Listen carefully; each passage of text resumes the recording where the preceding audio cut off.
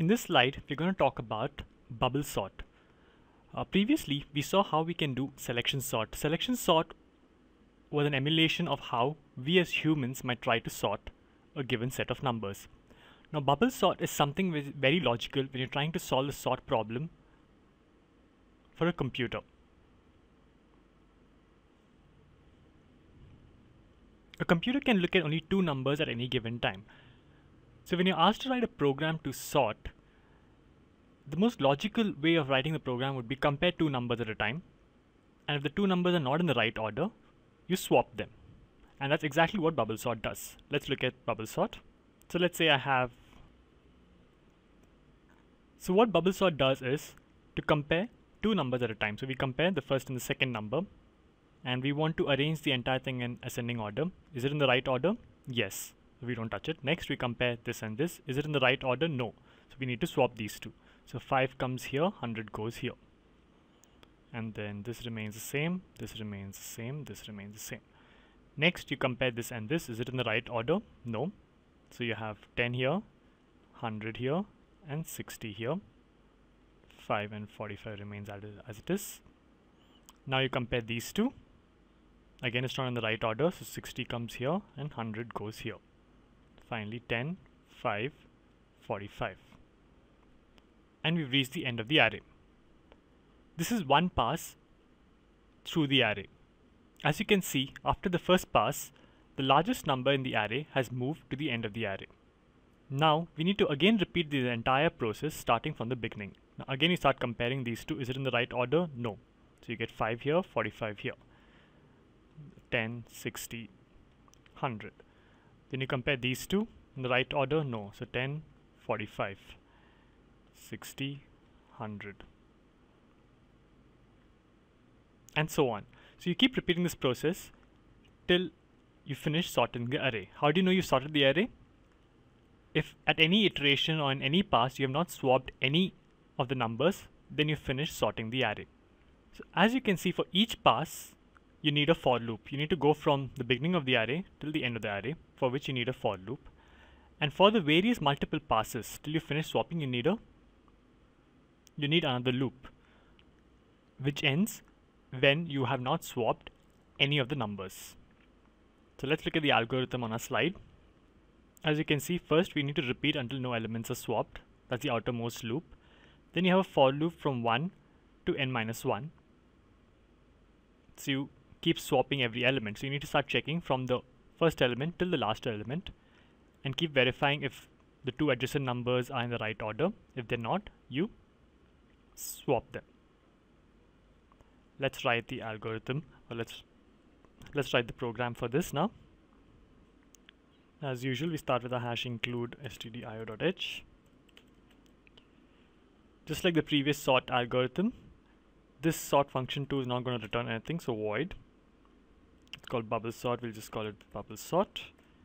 The parameters are going to be exactly the same star a int imin int imax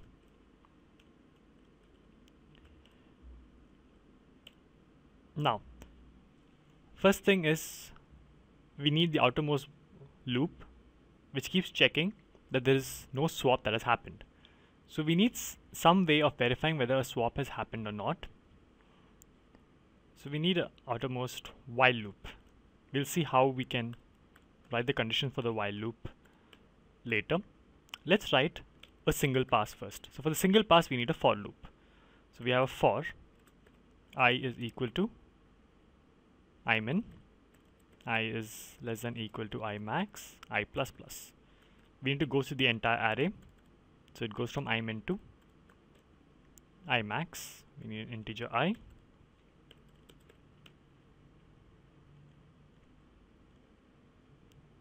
Now we need to compare two adjacent numbers.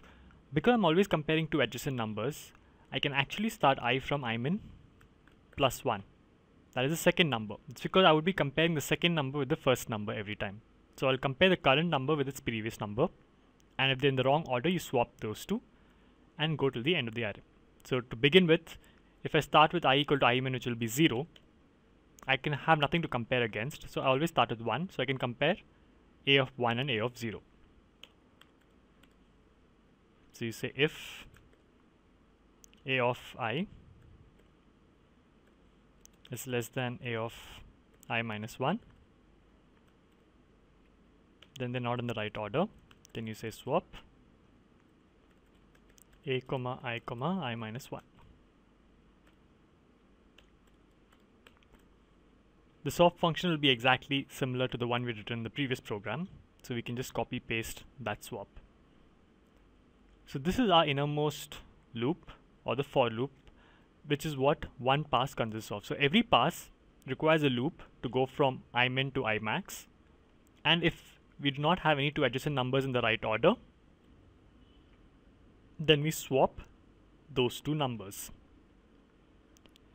Now we need to keep repeating this or have multiple passes till we've made sure we haven't done even a single swap. So where does the swap happen? The swap happens inside this if statement. So if we ever enter the if statement means we perform the swap.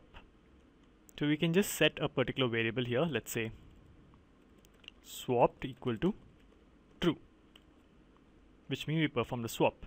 We have to define true, so let's say hash define true as 1, hash define false 0. Now we need another variable called swapped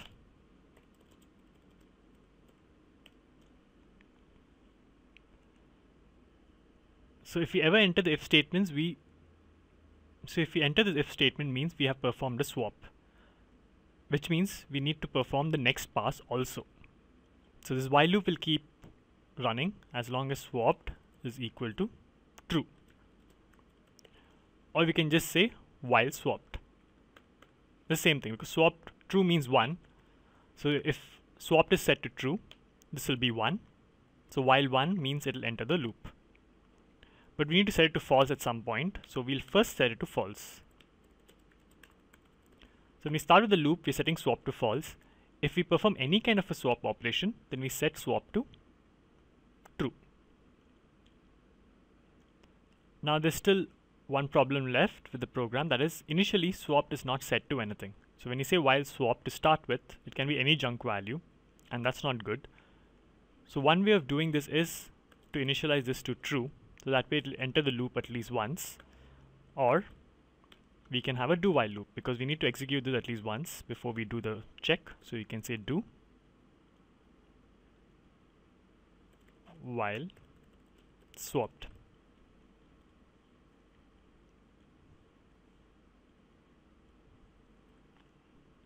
I just noticed a missing semicolon here.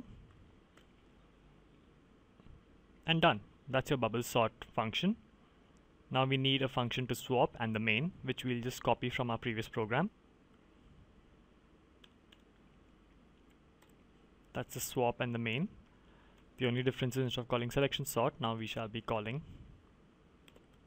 bubble sort. And we need to declare the swap function. So I'll just copy this, have a function declaration.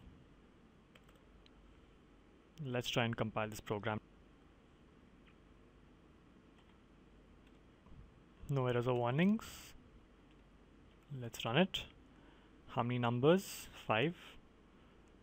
I'll just give the numbers in reverse order. 5, 4, 3, 2, 1. 1, 2, 3, 4, 5. Yep, it works. Let's try another random example. 5 numbers. Enter the numbers 43, 56, 12, 10, 100. 10, 12, 43, 56 and 100. This program works too. Isn't this simple? Because we know the computer can just verify two numbers at a time. We verify two adjacent numbers. If they're not in the right order, swap them. And keep doing this until we have the entire sorted list. So that's bubble sort for you.